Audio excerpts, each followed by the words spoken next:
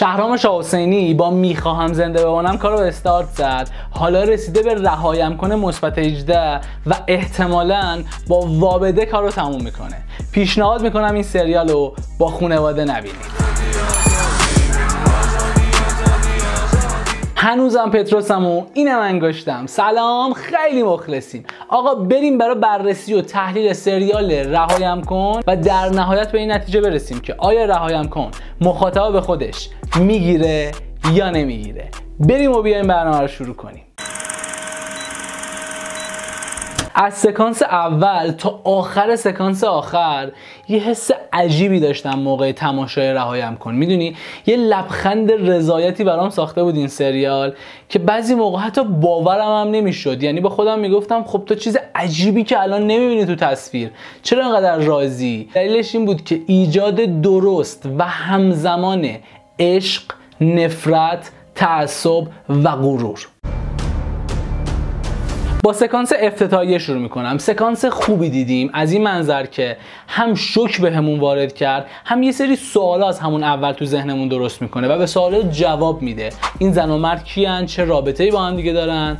و مهمترین چیزی که بهش جواب نمیده اینه که دلیل رفتار حاتم با همسرش چیه؟ که در واقع سوال اصلی این قسمت و احتمالا خب قسمت بزرگی از سریال می‌تونه باشه. به خاطری که در طول قسمت اول تا برسیم به در واقع سکانس آخر رفتیم سراغ داستان آدم های مختلف. من به شخص فراموشش کرده بودم تا سکانس آخر که دوباره یه بشکن زد که ببین حواست باشه من با این قضیه خیلی کار دارم. فقط در مورد این سکانس دلیل پیروی شهرام شاه از ژانر نوآر یا سیاه متوجه نشدم.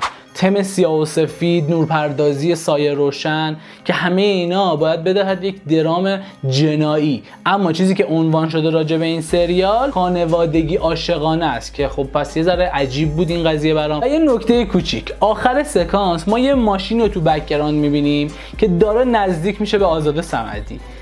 من احساس می‌کنم به این راحتی از این ماشین نمیگذره شاه حسینی. احتمالا براش نقشه هایی داره. وارد سکانس اول بعد از تیتراژ میشیم. یه رابطه درست پدر پسری به ما نشون میده. همینه. اصلا دنبال همینیم ما. خسته شدیم اینقدر از این که خواستن این رابطه رو به ما نشون بدن. دست دو نفر. یه بالش دادن. بزنن تو سر و کله هم دیگه. چی آخه اون؟ ایده آبتنی ایده ای بود که من دوستش داشتم در اجرا و فضا سازی هم که داشت تنها بودن این دوتا کاراکتره و احتمالا تغییراتی که بتونه به غرق شدنشون میسر بشه رو من حس کردم از این سکانسه احتمال داره که این اتفاقا بیفته.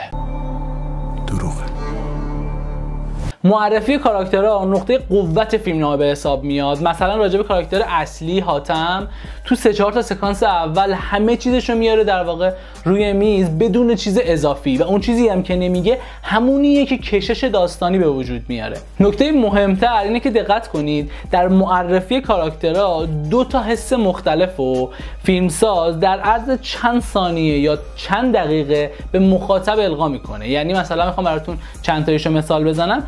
یونس و مارال.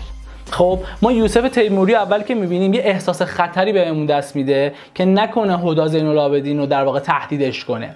بعد این حس عوض میشه میشینه پشت موتور. ما احساس می‌کنیم که نامزدشه. و بعد در نهایت می‌فهمیم که برادرشه. این رو دست خوردنه تو ذوق نمی‌زنه. جذاب کیف می‌کنیم باش و باهاش همراه میشیم.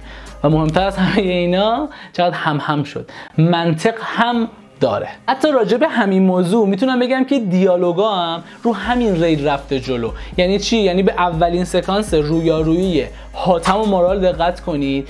دیالوگ اول مارال اینه که یه عالم دلمه براتون درست کردم. میرین دیالوگ بعدی میگه انگشترت کو. می‌دونی این یه حس صمیمیتی درست می‌کنه و یه گرای عشق به ما میده که در نهایت هم خود متوجه میشیم که اصلا این عشق وجود داره. این برای من جذابه این که اول احساس می‌کنم ربطی به این آدمه نداره بعد احساس می‌کنم نه خیلی ربط داره. و مثال آخری که راجع به این قضیه بخوام براتون بزنم عشق بیش از حد افسانه است که در نهایت به یک نفرت تبدیل میشه از دانیال. و این همراه شده با یه سری المان که خیلی جذابه. حالا براتون تعریف می‌کنم. افسانه قبل از اینکه برسه به دانیال ما می‌بینیم که توی ماشین پاهاشو دراز می‌کنه موزیک می‌ذاره و موزیک هم مرتبط به خود دانیال. اما موقع برگشتن چه اتفاقی میفته پاهاشو دراز نمی‌کنه موسیقی پخش نمیشه و time سکانس هم به شدت کوتاه یعنی فقط ماشین از قاب خارج میشه و تموم. روز سیاه.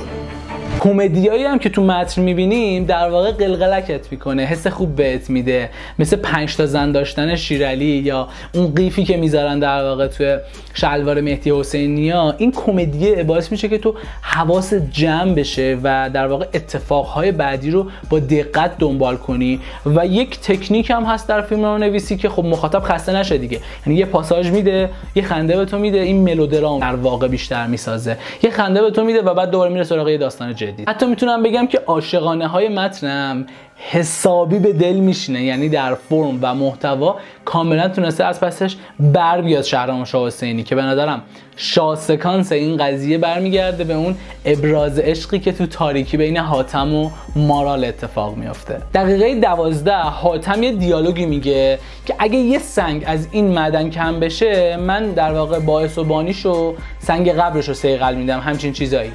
من احساس می‌کنم که این رابطه خیلی مستقیمی داره با اون دزدی کهربایی که از توی معدن اتفاق میفته و به این راحتی ها قطعا داستان از این موضوع نمیگذره. یکم هم راجع به کارگردانی کار حرف بزنیم. شهرام شاه حسینی از اندازه نما خوب استفاده می‌کنه. یعنی به عنوان مثال وقتی برای اولین بار بخوایم وارد ده بشیم و اونجا رو ببینیم میاد دو تا لانگ شات به ما میده که موقعیت کلی دستمون بیاد به عنوان مخاطب بدونیم کجا قرار داریم و بعد میاد می‌زنه به نماهای مدیوم و بسته تر همین خصیصه به ما میده که ما داریم یک سریال کلاسیک می‌بینیم یعنی از نمای باز لانگ به نمای بسته می‌رسیم. و همینطور معلفه دیگه ای هم که وجود داره همه چیز تو این سریال احساس هم میگه که علت و معلولیه یعنی برای هر اتفاقی یک علتی وجود داره. مسئله بعدی که وجود داره کات های سریاله. کات های خوب و استانداردی می‌بینیم. یعنی از یه نمای خیلی بسته به یه نمای خیلی باز نمی‌زنه که ما جامپ نبینیم توی تصویر. خب؟ اما جدای بحث استاندارد ما دو تا کات معنایی هم توی سریال می‌بینیم که به دلم نشست. شما حتما راجع به این دو تا نکته که می‌خوام الان بهتون بگم نظرتو کامنت کن. مثال اول جایی که مارال داره به راما غذا میده. راما از یک طبقه ارباب به حساب میاد. این کات می‌خوره به دو تا دختر بچه خوشگل که اینا از طبقه رعیت به حساب میان. مثال دوم جایی که توی تهران توی هتل می‌بینیم افسانه داره وارد اتاق دانیال میشه و در واقع دیگه اکثر مخاطبا از نیت شوم دانیال هم باخبرن این کات می‌خوره به چاقو هندونه سرخ و حاتم. و این گرا رو به ما میده که قطعا قضیه دانیال به این راحتی ها تموم نمیشه و حالا حالاها باش کار داریم. دور زدن سانسورام به نظرم خوب بود. یعنی فکر شده بود راجبش که مثلا تو این لحظه که دارید می‌بینید مینیبوس اینجا رد بشه از جلوی تصویر که ما لحظه بغل کردن رو نبینیم.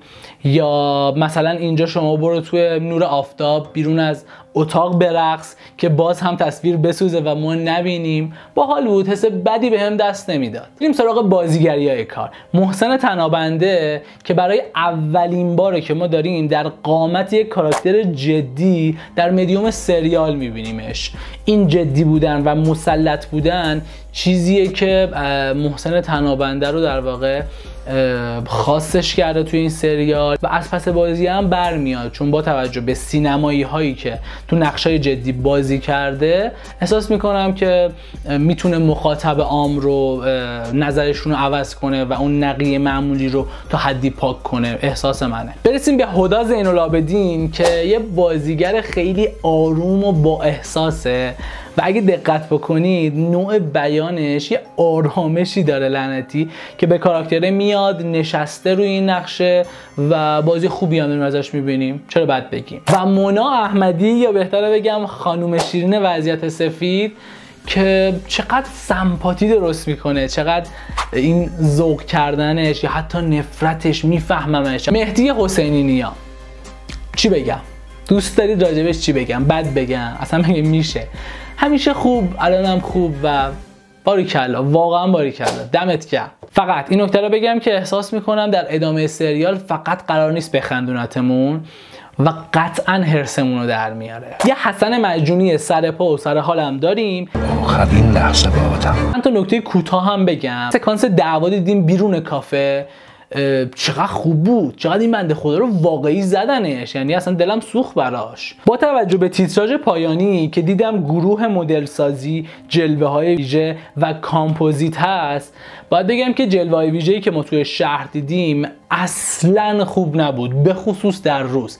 یعنی همه چیز خیلی مصنوعی بود و انتظارم این نبود. از دیدن صحنه هایی که طراحی صحنه های اونو سهیل دانش اشراقی انجام داده باشه واقعا لذت می‌برم. یعنی این آدم خیلی دقیقه تو کارش خیلی ریزبینانه است و همه چیزش حساب شده است.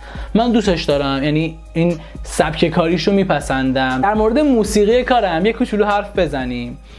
آقا واقعا خسته شدم. جدی بگم. یعنی به معنای واقعی کلمه حالم گرفته شده. اینقدر اومدم برنامه می‌گیره یا نساختم و بهتون گفتم که موسیقی های بامداد افشار خوبه متفاوته.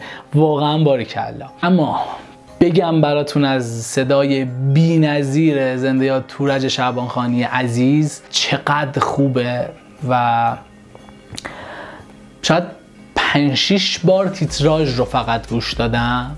و بعد رفتم آهنگ رو دوباره جدا دانلود کردم و فکر می‌کنم که هر بار هر قسمت جدید رو ببینم قطعا تیتراژ رو تا آخر گوش میدم. من خانوادم رو ول کردم که مثل اونا نشم که برم دنبال زندگی. و در نهایت برسیم به پایان بندی سریال. این خوبه که سکانس آخر درست به سکانس اول ربط داده شده. اما به عنوان یک مخاطب جدی سینما انتظارم از لحظه آخر خیلی بیشتر از این بود. چون ببین من از اول کار می‌دونستم که یک چیز پنهانی راجع به زن هاتم وجود داره. ای کاشش رو که بزرگتری می‌زدی. حقیقت همین. یعنی وقتی مرگ میاد سراغ آدم حالا که تا آخر ویدیو اومدی به این سوالم جواب بده. حالا کسی بوده تو زندگیت که فکر کنی می‌تونی بهش روز سیاه بدی. اگر سریال های شبکه نمایشخانگی رو دنبال می‌کنی این پلیلیست قطعا به کارت میاد و ساب کردن پتروس لایک و کامنت هم به من انرژی میده. فراموش نکنید که حتی اگه یه روزی سرمون بره خورده به تنمون پیروزی گره تمام.